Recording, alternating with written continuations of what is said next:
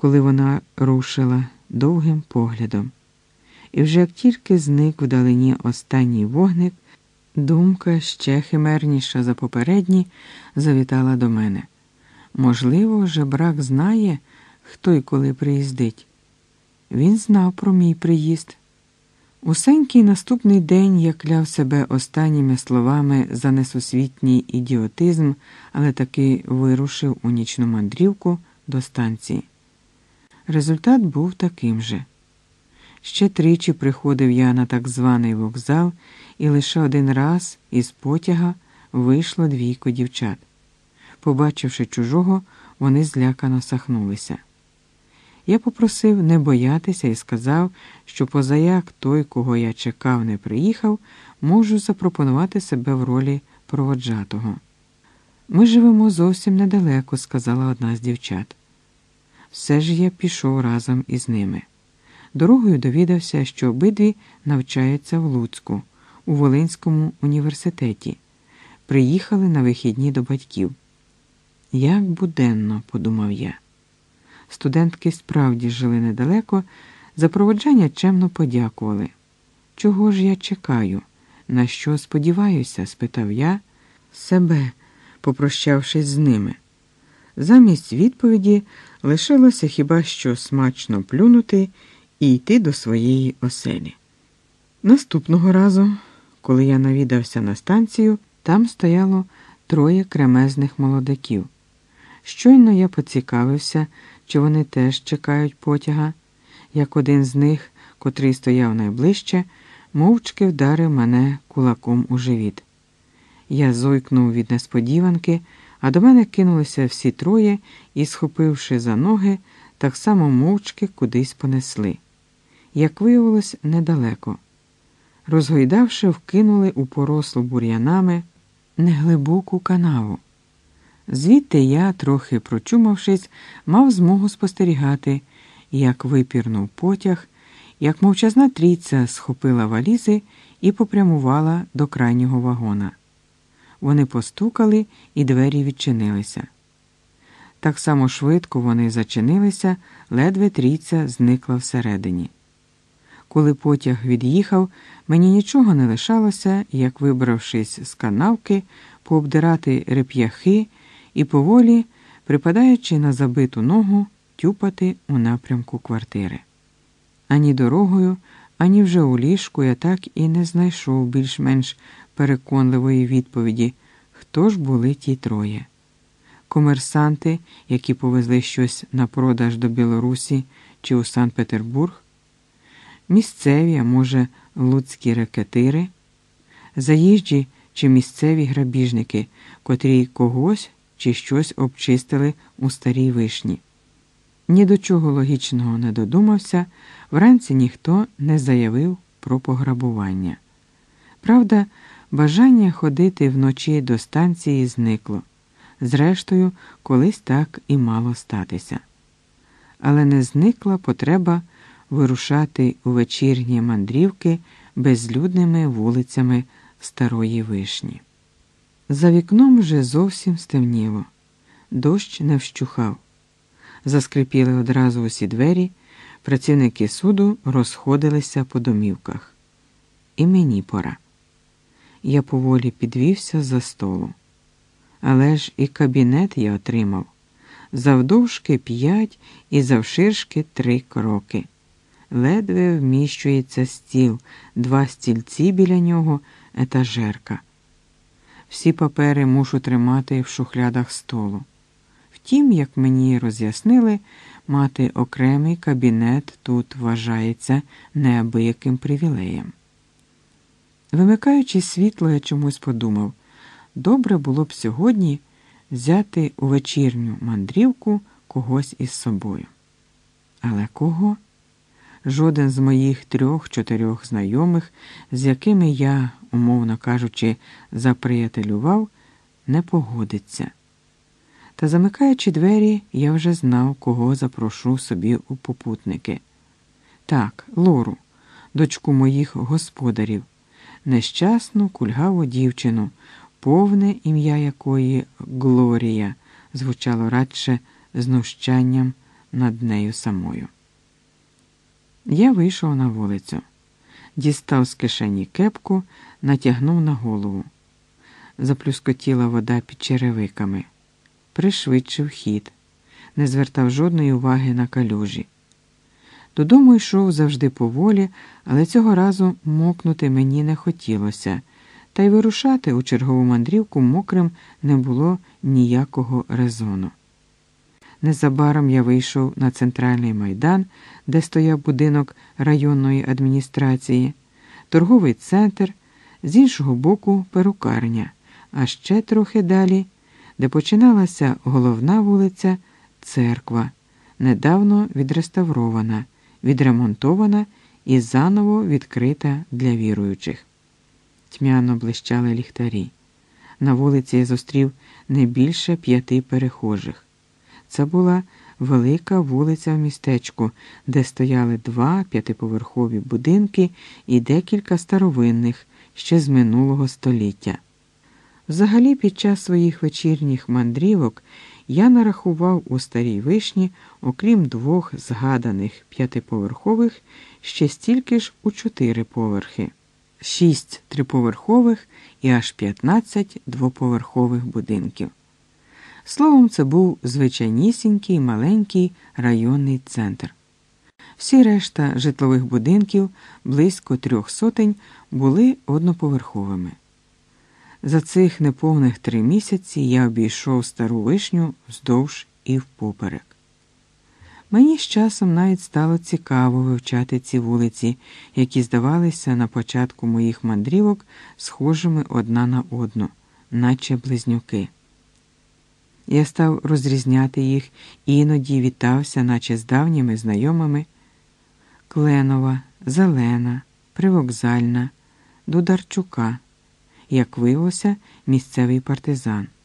16 липня, день визволення містечка від німців, святкова, весільна, трактористів, мельнична, чекістів, лозового. Ніхто не знав, хто це такий прикордонників, хоч до кордону звідси ще далеченько. Садова Сервантеса.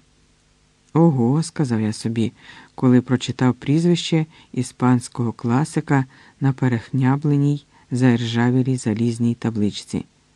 Ракетна ентузіастів. Дві останні дуже милі назви. Щоб знати, якою вулицею я ходжу, я інколи приходив в день і щитував назви або ж питав у тих, хто траплявся мені по дорозі. Вдень вулиці, наче розбігалися від мене. Це було дивне відчуття, до якого я згодом навіть звик. Потім я подумав, що воно наслідок мого бажання зробити цей населений пункт трохи більшим, схожим на справжнє місто. Увечері ж і вночі містечко наче стискалося, скручувалося у чорний безмовний клубок, мов би мала дитина, залишена сама одна у великому, наповненому мороком, страхом і приводами будинку. Ця істота то завмирає, заціпеніло вдивляючись у темряву, то тихо скиглить нарікаючи на свою долю і свою самотність, але настільки тихо, щоб ніхто не почув, бо вона боїться і звуків власного, наповненого жахом голосу, і того невидимця, який за завісою пітьми чатує на неї, на її голос і нестримно вабить до себе. Вдень я іноді зупинявся, вітався з людьми біля воріт, питав, як мені пройти на таку-то вулицю. Часом мені хотілося попросити цих людей так само, як і я, вийти пізнього вечора на вулицю і слухати, чи десь не пролунає крик, голос, який покличе на допомогу. Може, й назве котрогось чи котрусь із них на ім'я, бо мене не назве напевне. Тільки один раз стара бабуся, котра сиділа біля воріт, озвалася до мене першою.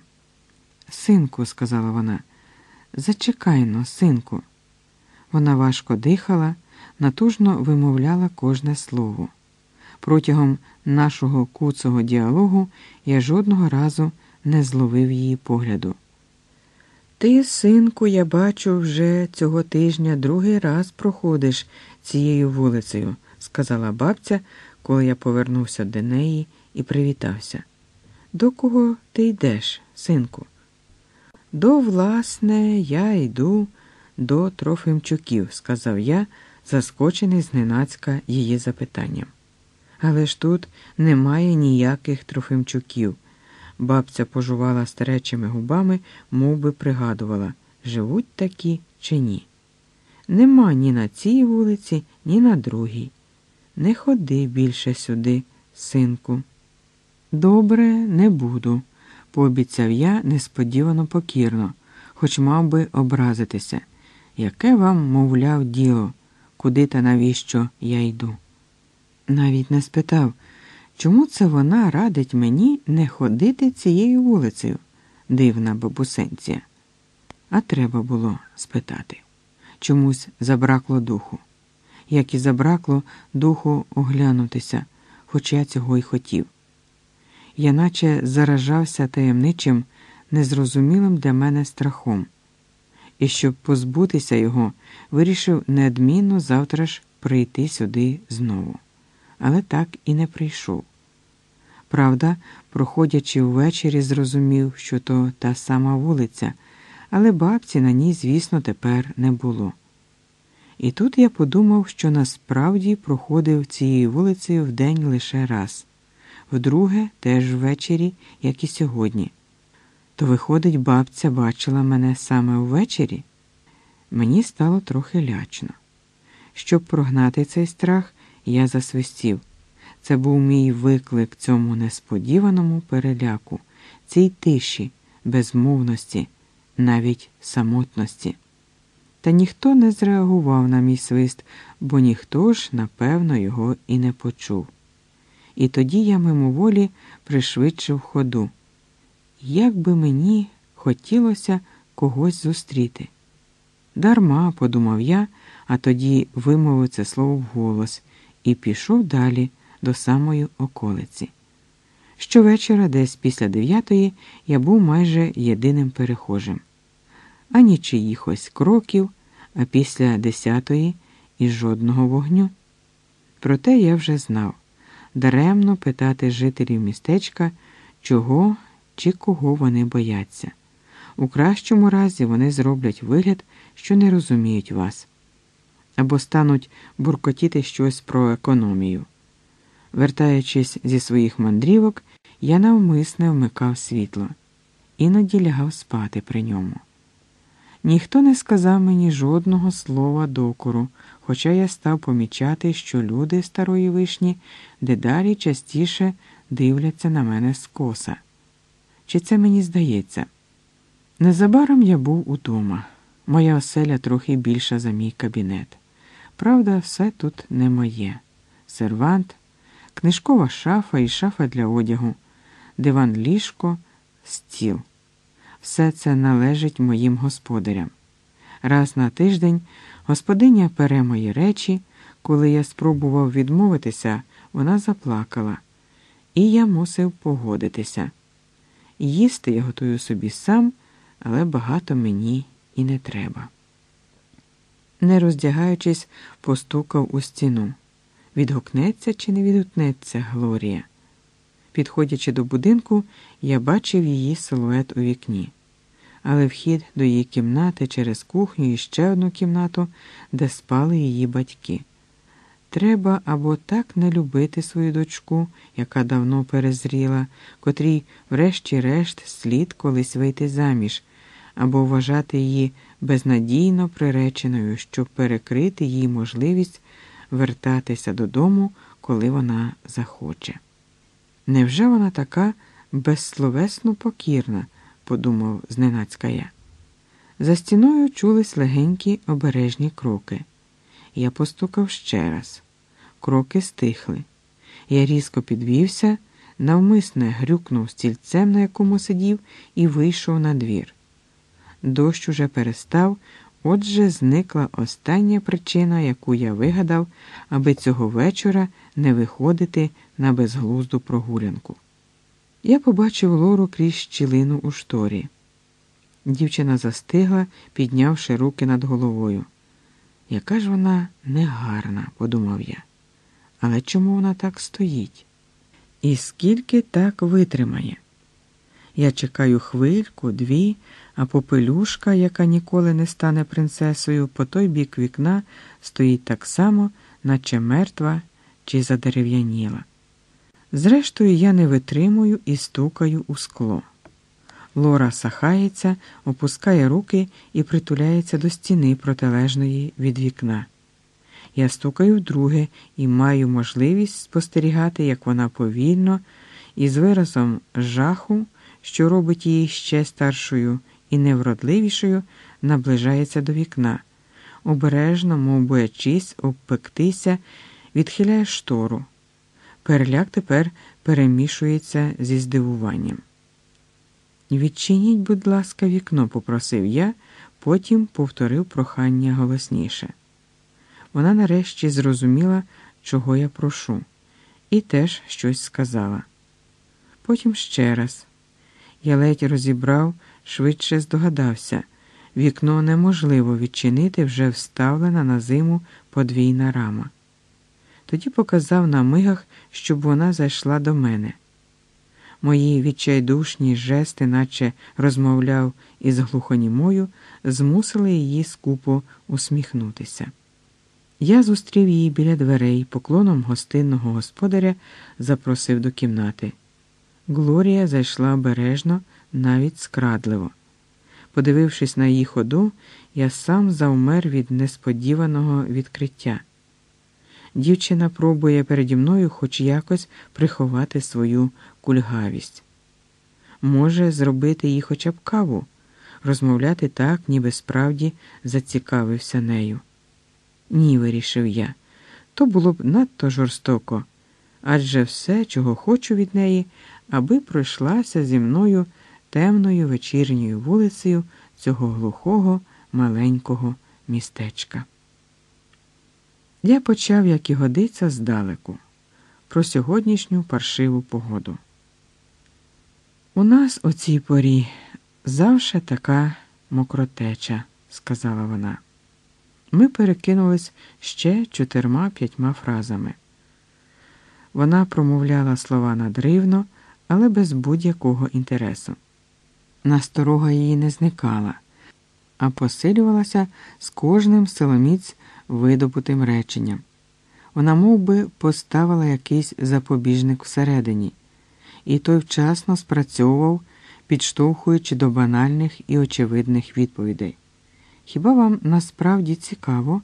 прочитав я у її погляді. Тоді я запропонував без будь-якої підводки прогулятися разом. Вона ковтнула слину і аж зморщилася від бредливості. Враз стала на очах меншати, і мені здалося, що вона от-от перетвориться на маленьку мишку, яка сховається під ліжком від можливої небезпеки. Навіщо? вичула нарешті Лора. Просто прогулятися і все. Адже дощ уже стих. Дощ стих, але вже темно, сказала вона.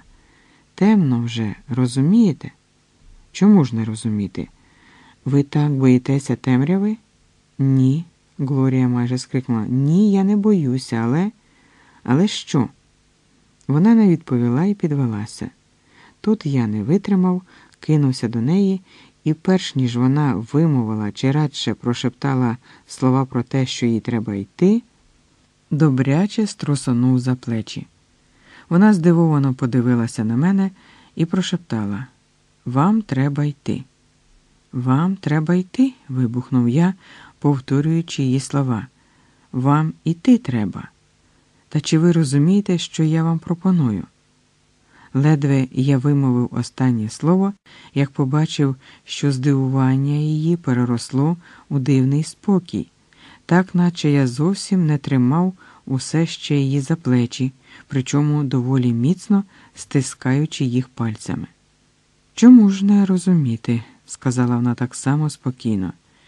Я маю бути вдячною, що ви, молодий, вродливий і привабливий, звернули увагу на бридку кульгаву качечку і запросили її прогулятися.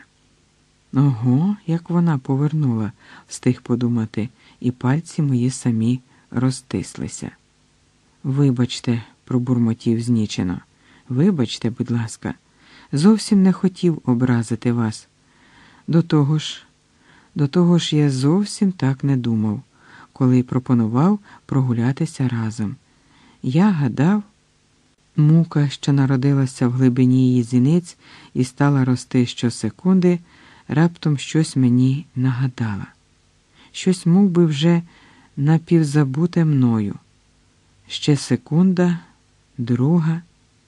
Біль, що струменів з її очей, здавалося, от-от розірве цю дівчину на шматки. І тут я збагнув, що нагадує мені цей погляд, ця мука в очах. Так дивилася провідниця в потязі, яким я приїхав сюди. Провідниця, котра так безглуздо і загадково загинула. Раптова думка аж обпекла мене. Скажіть, ви знаєте, знали Людмилу Черняк? спитав я. Людмилу? Черняк? Лора відступила назад, мало не вдарилася спиною об двері. Чому ви про це питаєте? Тому що я не зміг сказати те, що думав, але став притул до неї. Я питаю тому, що я приїхав тим самим потягом. Потягом? З якого вона? Ні, цього не може бути. Чому не може? Я дихав їй у лице, ловив її подих, захлинався її болем, але відступати не хотів. Тільки думка, як я міг за ці місяці забути, так зовсім забути Людмилу, встигла промайнути. А затим ще одна, що не давала спокою перші дні мого перебування у старій вишні. Чому мене не викликають більше до міліції? Чому я сам, якщо так мучився цим питанням, так і не відважився туди навідатися, аби про все дізнатися? Забув, забув. Я мало не простогнав це слово. Чому не може? Струсунув Глорію ще раз, вона подивилася вже стомлено. Не знаю, сказала так, ніби повторювала чиїсь слова, і попрохала ще тихіше. Відпустіть мене, будь ласка. А що я тримав її досі за плечі, додала з якимсь фатальним розпачем. Ви ж нічого про нас не знаєте, ну геть нічогісінько. То як ви можете судити? Я й хочу дізнатися, пробурмотів я, проте руки опустив. Лора вагалася. Вона дивилася кудись повз мене, так наче там хтось стояв, хтось, кого вона намагалася пізнати. Я терпляче чекав, проте з'явилася думка, що стала в мені розростатися, немов ракова пухлина. Час іде, невблаганно йде час, я його дурно гаю.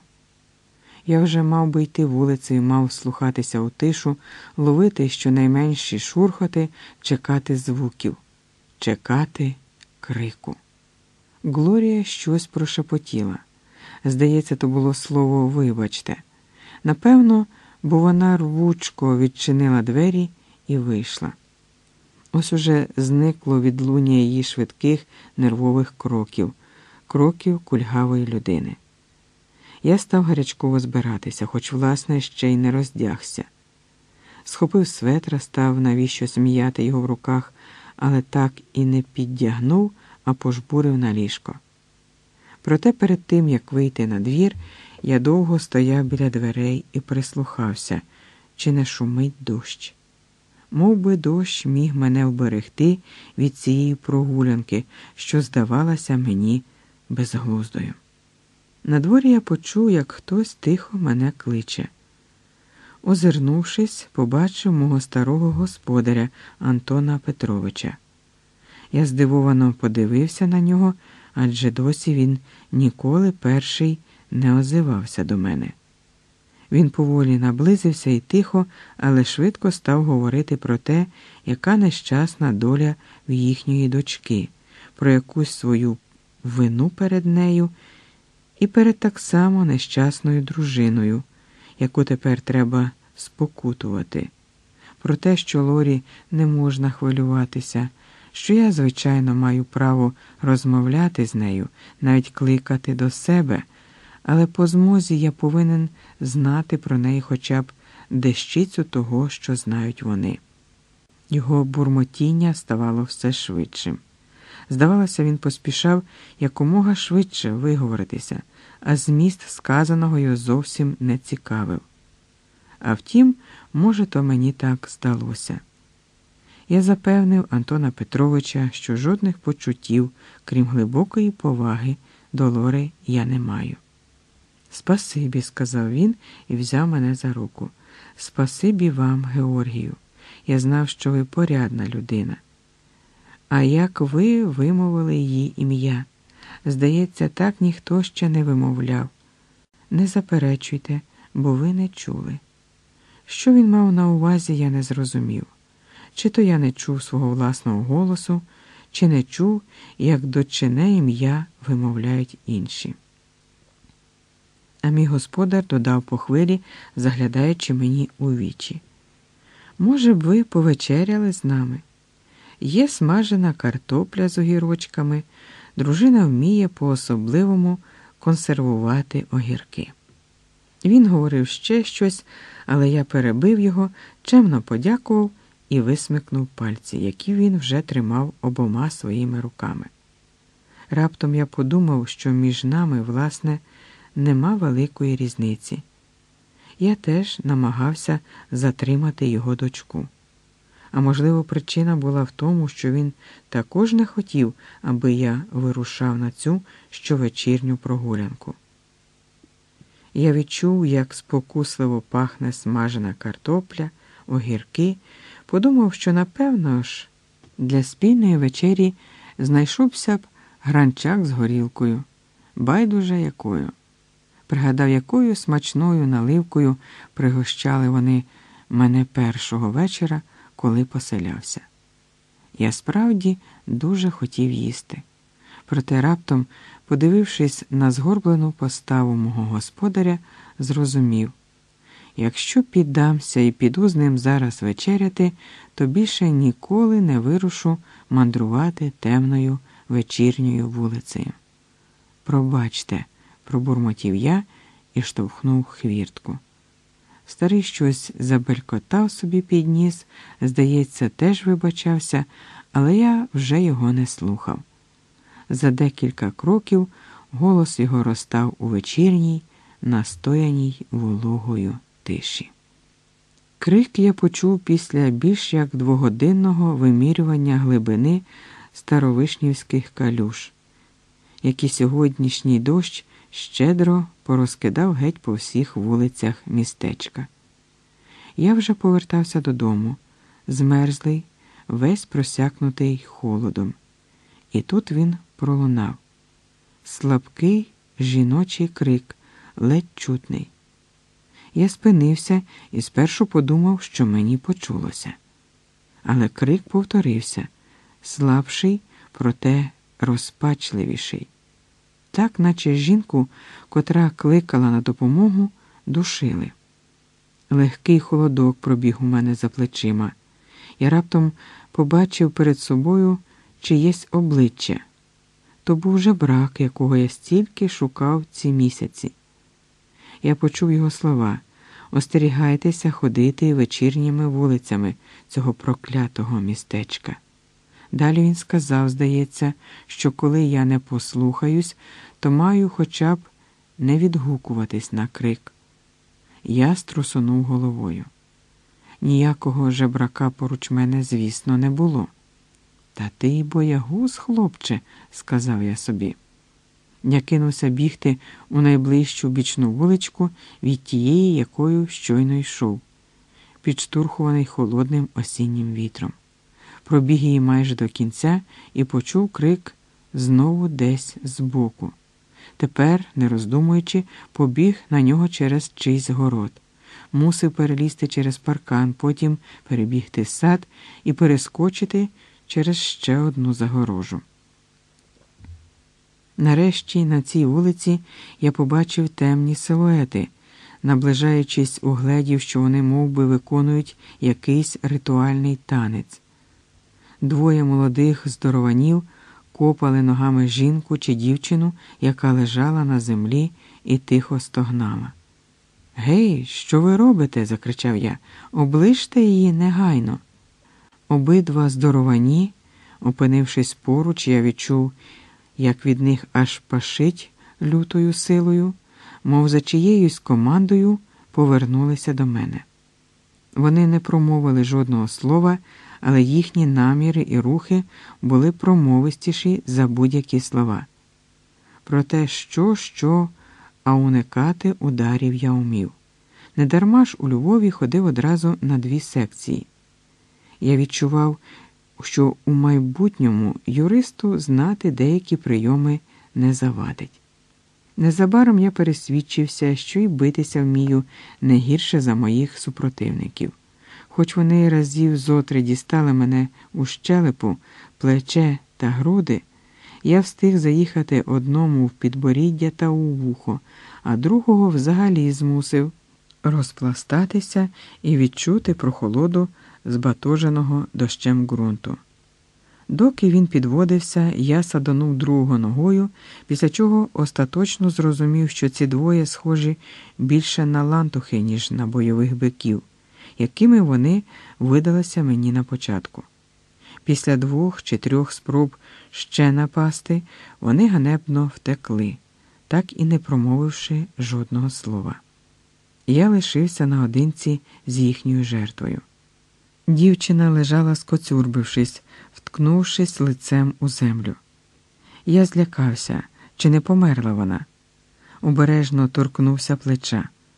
Вона заворушилася, повільно перевернулася на спину. Вам допомогти?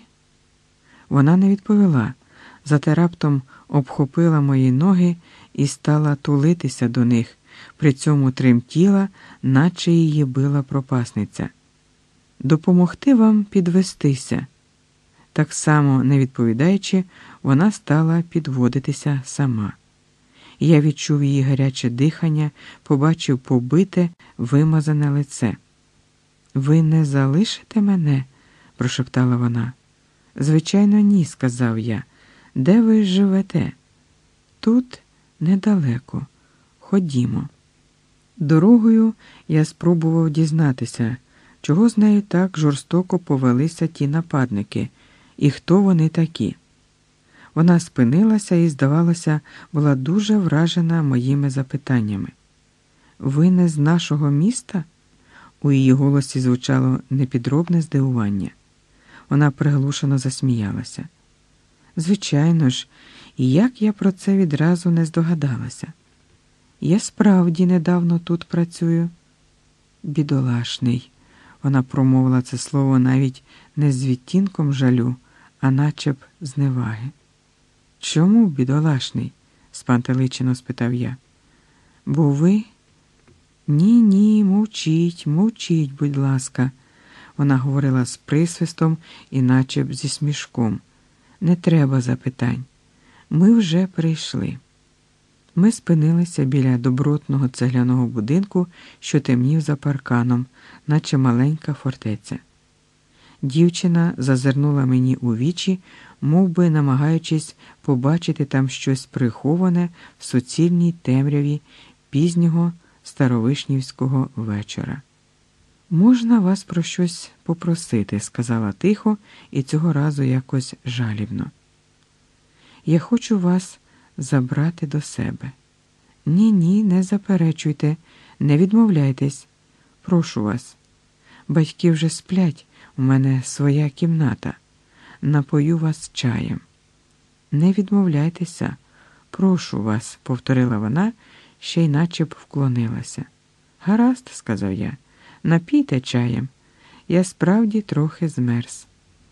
Спасибі. Вона відчинила хвіртку, потім відімкнула двері веранди, провела мене через кухню до невеличкої кімнати. Сідайте, сказала, я зараз. Вона щось пошукала у шафі, яка стояла біля дверей, і, знайшовши, рушила до виходу. Вимикач біля дверей, сказала вже за порогом. Я зрозумів, не хоче, аби я побачив її при світлі, побитою і брудною. Клацнувши вимикачем, оглянув кімнату. Це була звичайна дівоча кімната з односпальним ліжком, шафою для одягу, маленьким столиком із стосиком книжок на ньому і репродукціями світлин кіноактрис на стіні. Почесне місце, серед яких займав календар із зображенням ще донедавна популярної в наших краях мексиканки Вероніки Кастро. Я хотів сісти в одне з двох крісел, які стояли біля столика, та подумав, що мені теж не завадить умитися.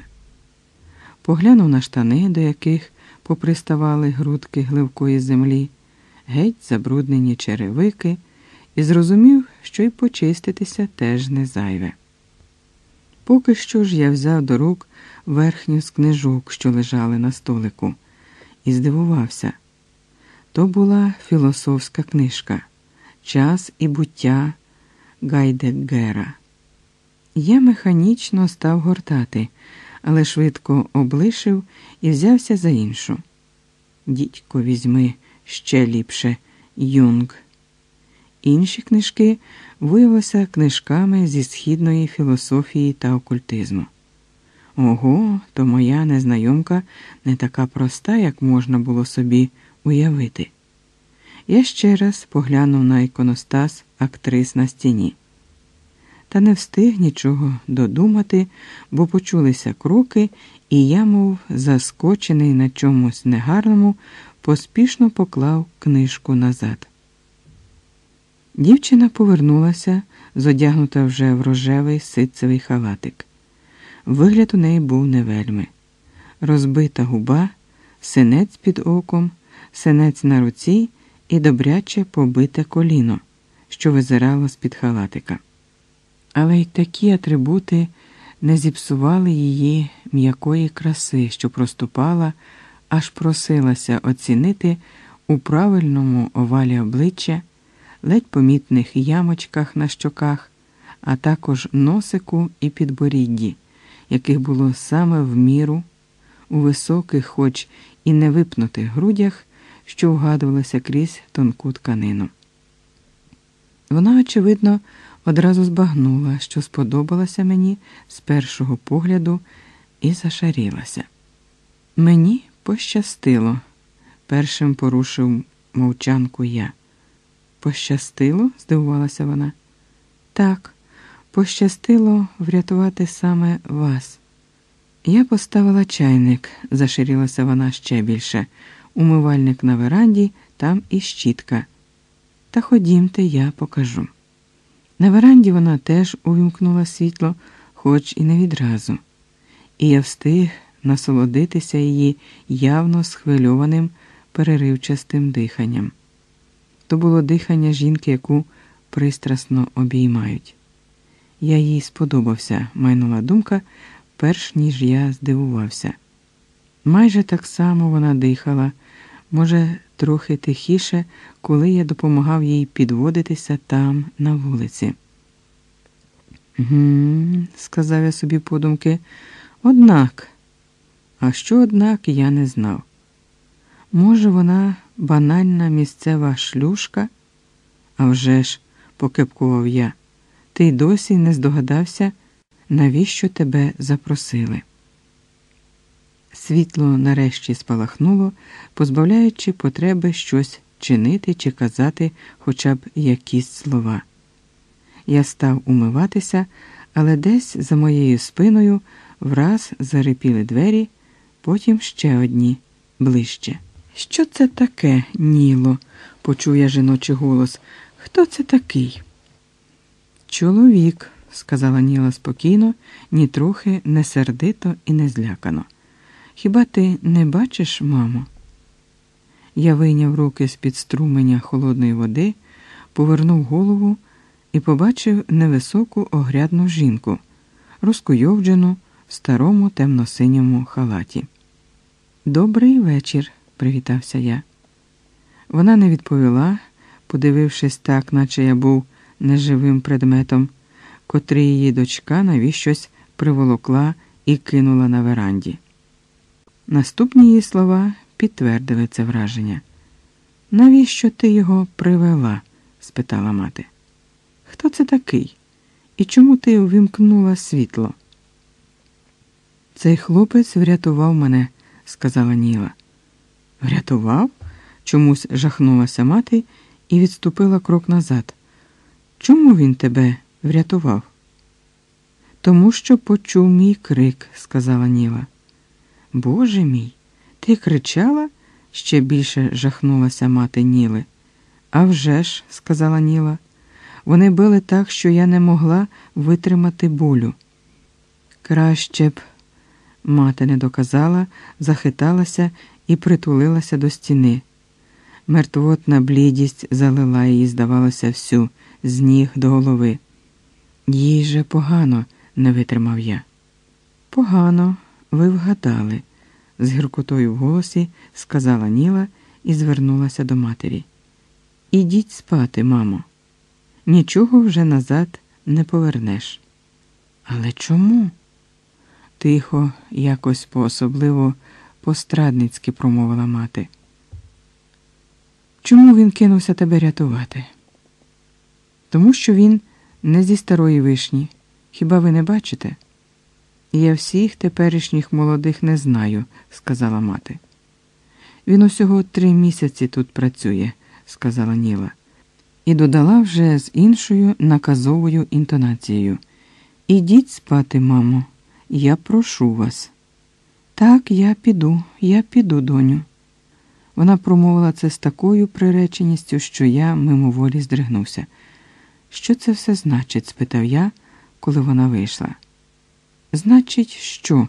спитала Ніла байдуже. Та Боже мій, для вас нічого не значить, жодне слово, а нічогісінько. Вмивайтеся і ходімо пити чай. Я що, не повинен був врятувати вас? Чому? Багато знатимете, швидко постарієте, усміхнулася Ніла. Беріть щітку, хоча ні, давайте ліпше я. Вона взяла щітку, стала чистити куртку і раптом завмерла, а потім притислася до мене, обійняла, стала тиснутися всім тілом все дужче і дужче. Ну й ну, встиг подумати, не знаючи, що чинити далі. Мені холодно, прошептала вона. Боже мій, як мені холодно. Не дивуйтеся, пане суддя, мені дуже холодно. Та обніміть же, ви людина чи манекен? Я був живою людиною, молодим і здоровим, 27-літнім чоловіком, а тіло її гарячим, розпашілим, тому я теж став її обіймати. Вона все тислася і тислася, наче хотіла війти в мою середину. А втім, так воно і було. Ведіть мене, прошептала вона, ведіть же. В якомусь дивному, незбагненному танці, не розчіплюючи обіймів, ми стали просуватися крізь кухню до її кімнати. Вимкніть газ, шепотіла вона посеред кухні, чайник википить. Я простяг руку до плити і зненацька подумав. Щось мені її поведінка нагадує, але що? Так і не міг згадати. В той час, як лівою рукою я вимикав комфорку під чайником, який вже кипів, Ніла взяла мою праву руку своїми пальцями і провела до темної улоговини внизу живота, де було тепло і волого. Ось так, прошептала вона. Ось так, так, так. І тихо, трохи істерично засміялася. То були останні слова, які я почув від неї того вечора. Доторкнувшись до її тіла, до найтеплішого, найпривабливішого місця на її тілі, я раптом побачив себе серед якоїсь старовишнівської вулиці. Переді мною стояла стара перехняблена хатина. Так, це була хатина, неподалік іншої, в якій жив тепер я. Я проходив мимо неї щодень і кожного дня переборював бажання заглянути всередину. А сьогодні, зараз, саме зараз, наче заглянув. І саме посеред хатини, убогої, такої, що, здавалося, біднішу годі і уявити, старе, напіврозвалене дерев'яне ліжко, потріскана лавка, перехняблений стіл, стілець з відром води на ньому, побачив Нілу. Нілу, яка стояла в якомусь лахмітті і простягала до мене руки. Я йшов до неї і боявся торкнутися того лахміття. А коли торкнувся, то мої пальці вільно пройшли крізь цю протрухлявілу одежину. І побачив молоде тіло, що, здавалося, все співало. Вигравала кожна його клітинка, наче маленька струна, що дарувала мелодію незнаного блаженства. Таніла вже стояла не в хатині, а посеред вулиці, відкрита всім вітрам і всім поглядам. Вона пестила мене своїми долонями і щось наче хотіла сказати. Мені здалося, що вона просить мене закрити від чиїхось поглядів, від цілого світу, але чомусь не може вимовити жодного слова, крім тих, які я почув від неї у її кімнаті. Враз я отямився і почув глибоке, швидке дихання жінки зовсім поруч, дихання, яке зливалося із моїм. Ось так, так, так, так, почув я тиху, ледь чутну луну. Так, то були останні слова, які я почув того вечора. Кохалися ми пристрасно, вона виявилася ніжною та й досвідченою у цій справі. Втім, коли я намагався щось сказати, вона затуляла мого рота поцілунком або долонею. Так само вона робила, коли ми лежали знеможені. Я вирішив прийняти правила незрозумілої мені гри, тим більше, що часу на слова в нас майже не залишалося. 16 листопада. Вона нарешті озвалася коли я лежав уже геть, безсилий, не маючи жодного бажання, окрім одного, якомога швидше заснути. Тобі пора, донеслося до мого слуху тихе шелестіння. Пора, пора заснути, подумав я, але Ніла торкнулася плеча, тоді стала відверто трусити. Що таке? розплющив я очі. Тобі пора сказала вона ніжно, але твердо. Пора?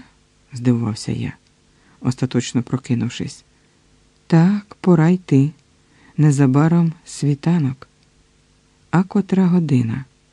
Всі годинники зупинилися, тихо засміялася вона і підвелася. Її схилене наді мною тіло біліло в суцільній темряві, але тепер не викликало жодного бажання. Таким випотрошеним я був за ці кілька годин, а проте час, мов зупинився насправді. Єдине, що я став поступово відчувати, кохаючись із цією дивною дівчиною, це її тіло. Руки, перса, плечі, губи, щоки, ніс, чоло, очі, волосся, наче росли з кожною хвилиною ніжності. І після кожного сеансу любощів, а їх було три з невеликими перервами, я відчував, як я змалів, зробився меншим за перса, яких щойно спрагло торкався губами, за губи, за якими я мов би, зникав, я ставав на її долоні, готовий зникнути між частоколом пальців, що наближалися до мене. Хто б міг подумати, що таке можливе в якійсь старій вишні? Моє здивування її вмінням переросло в захоплення, хоч я розумів, що це швидше всього якась місцева шукачка пригод, якщо не повіє. Та я прогнав від себе цю думку і втретє піддався на вмілі пестощі її пальців. Тепер же я навіть не образився. Я давно знав, що за все треба платити. Світанок той світанок. Мені вставати? перепитав лише про всяк випадок. Вставати, любенький, вставати. Вона поцілувала мене у вухо. Доспиш вдома. Ти далеко живеш? Не дуже, сказав я і поцілував її підборіддя. В чоло, прошептала вона. Поцілуй у чоло.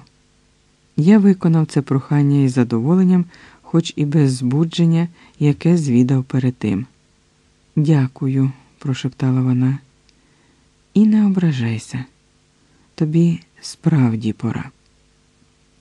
Я підніс до очей годинника єдину річ, яка лишалася на моєму тілі, і, добре придивившись до стрілок, що світилися, побачив лише пів на третю. Чому ж вона каже, що незабаром світанок? Ще ж дуже рано, сказав я. Мій батько встає о п'ятій, сказала Ніла. Він працює кочегаром у дитсадку і йде на шосту годину, щоб напалити грубки. Хіба ще є такі дитсадки? засумнівався я.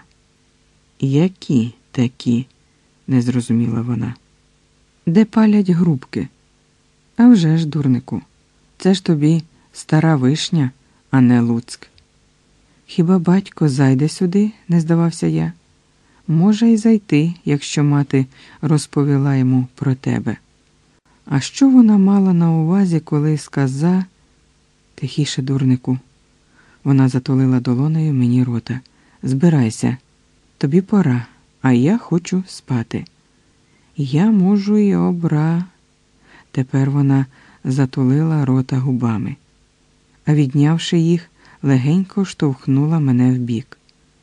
Я зрозумів, що таки треба йти геть, тож ніякі образи і протести тут не допоможуть. Тому я звівся на лікті, далі скинув ковдру. Дякую, прозвучало так само ніжно. Я знала, що ти розумник. Я встав. Вона й собі зістрибнула на підлогу, прошептала, що світла вмикати не треба, що вона сама мене вдягне. Вона й зробила це, натягнула поволі з неприхованим задоволенням геть усе, від плавок до куртки, обціловуючи при цьому все, на що одягала чергову одежину. Я знову став бажати її, але вона сказала, що не треба, що їй теж варто відпочити. Тепер іди, прошептала, закінчивши церемонію одягання, і легенько підштовхнула у спину. Відчиниш сам і зачиниш. Там замок автоматичний. Ми зустрінемося сьогодні? спитав я біля дверей на кухню. Обов'язково. Вона тихенько засміялася. Обов'язково, любий. Йди вже, йди. Увечері прийдеш, і я тебе чекатиму. Хоч мої очі звикли до темряви, проходячи кухнею, я все ж наштовхнувся на стілець і мимоволі вилаявся. Ніла не вийшла, не поцікавилася, що сталося. Лайнувшись ще раз, тепер подумки, я ступив у коридор, потім на веранду. Намацав замок, відчинив двері, тоді зачинив і почув, як голосно клацнув замок. Свіже, майже морозне повітря хлинуло мені назустріч. Воно було п'янке, аж я захитався. За хвилину я вже вдихав його із задоволенням. Містечко спало, ніде не було чутно жодного звуку, не загавкав жоден собака. Я подумав, що до цього безгоміння неможливо звикнути. За дорогу кілька разів мимоволі оглянувся дарма. Ніхто не йшов за мною. За якийсь час ходи я несподівано побачив поперед себе світлу цятку. Світилося чиєсь вікно на вулиці, де я жив. Може, я забув вимкнути світло, коли йшов на прогулянку, яка так добре, хоч і дещо таємниче закінчилася. Здається, ні. Хоча світиться таки в нашому будинку. Упевнившись у цьому, я пришвидшив ходу. Минув сусідську хату, з-за якої оселя судового виконавця виразно виступала з темряви, виставивши жовте око вікно, і аж спіткнувся. Сумніву не було. Світилося не моє, а вікно поруч нього. Вікно Лори, Глорії. Невже вона чекає мого повернення? Підійти, заглянути, подивитися, що робить моя кульгавка? Моя? здивувався.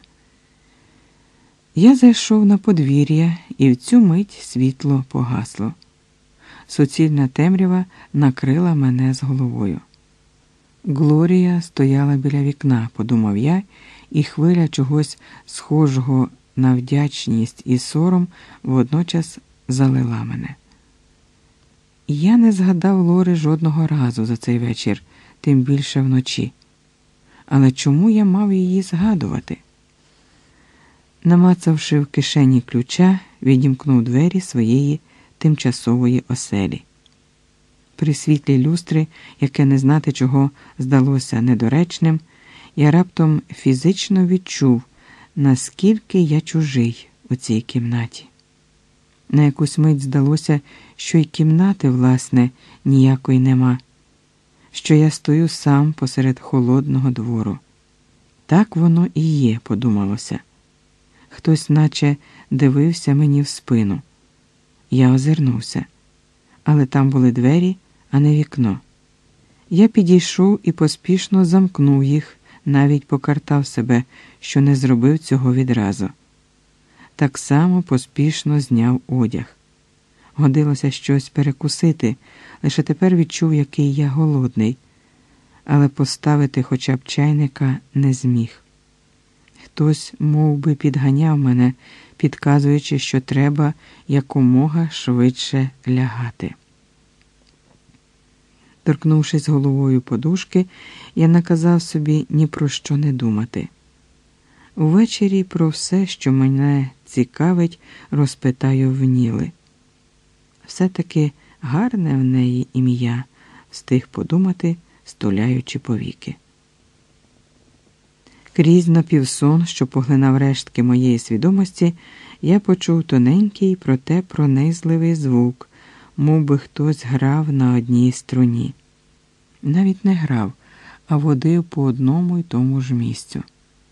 Я спробував прогнати цей звук, стуливши щільніше повіки, і глибше занурив голову в подушки. Однак він не тільки не зник, а посилився. Тепер грав не скрипаль, що взявся серед ночі подратувати мене, але чутно, але якось по особливому виразно квилила птаха десь збоку від дому. Це квиління розтинало завісу дрімоти і, здавалося, розрізало навпіл не тільки череп, а й мою душу. Я підвів голову і прислухався. Минула хвилина, друга. Тиша поглинала час і остаточно прогнала сон. А я зрозумів, чим було те, що я прийняв спершу за віддалені звуки скрипки, а потім за кигикання чайки. То поруч за стіною плакала, втім, швидше скиглила Глорія. Щось раптово і вже неспинно зашкрябало всередині. Який ідіотизм, майнула думка. Хіба я винен, що пішов, як і щовечора гуляти, що врятував дівчину, в оселі якої лишився на ніч? Я ж сам запропонував Глорії спільну прогулянку. Хіба я винен, що вона відмовилася, а потім чекала на моє повернення? Я звівся, сів на ліжку і зрозумів так, винен. Думка була такою несподіваною, що мало не закричав У чому? У чому? У чому винен? І хто це питає? Я сам? Тоді хто каже про мою вину? Ніхто не відповів, зате квиління за стіною припинилося. Ідіотське місто, і люди в ньому не менш ідіотські, якщо спонукають мене до таких запитань, подумав я, падаючи на вже зігріту постіль. Раптом з'явилося відчуття, що хтось стоїть за моєю спиною. Один, другий, третій, четвертий, п'ятий, цілий натовп людей, яких мусив упізнати і назвати, не озираючись. Я струсунув головою, аби прогнати це видиво, і враз відчув. У мене за спиною стоїть одна єдина людина Лора, Глорія, кульгава качечка. Ні, звіреня, звіреня, яке квилить. У потилиці з'явився і почав наростати тупий біль. Він збільшувався так нагло, що незабаром я ледь не закричав тоді стис голову руками і став терти пальцями скроні і чоло. Біль не вщухав. Я зрозумів, що тепер засну не скоро і не в силі стриматися, загрюкав кулаком у стіну, за якою причаїлося кульгаве дике звіря, якому раптом став потрібен дивний квартирант.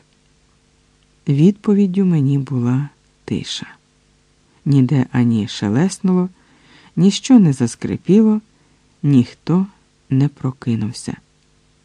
Чи всі вдавали, що сплять?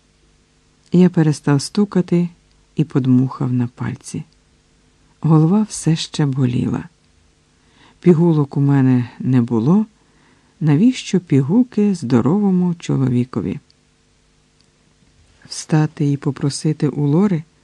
а заодно спитати, чому вона не спала і одважилася запалити світло?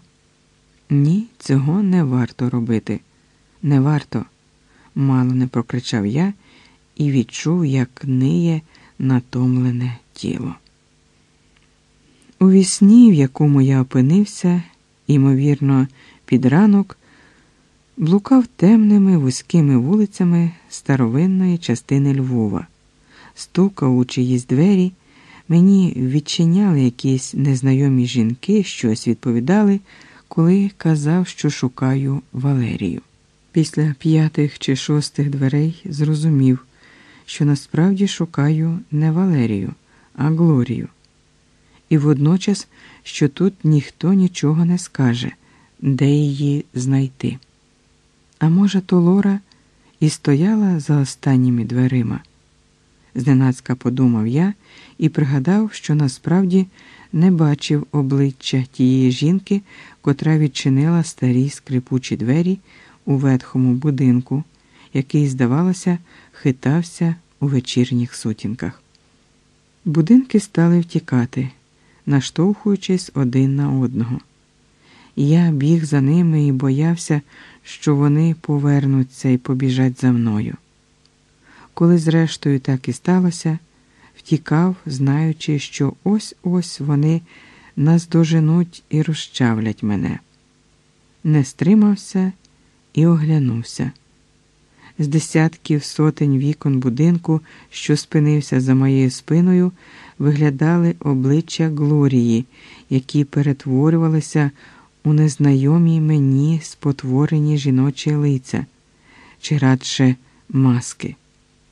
Якщо я вгадаю, яке з них належить Валерії, будинок перестане мене переслідувати, подумав я і став наближатися до тих вікон облич. Я пройшов через перше, друге, третє, четверте і побачив, що вони поприлипали до одягу і стали розтікатися липкою, бридкою масою, заливаючи мене всього з ніг до голови. Я почав несамовито віддирати ці безформні потоки, і на моїх руках несподівано відбилися всі обличчя.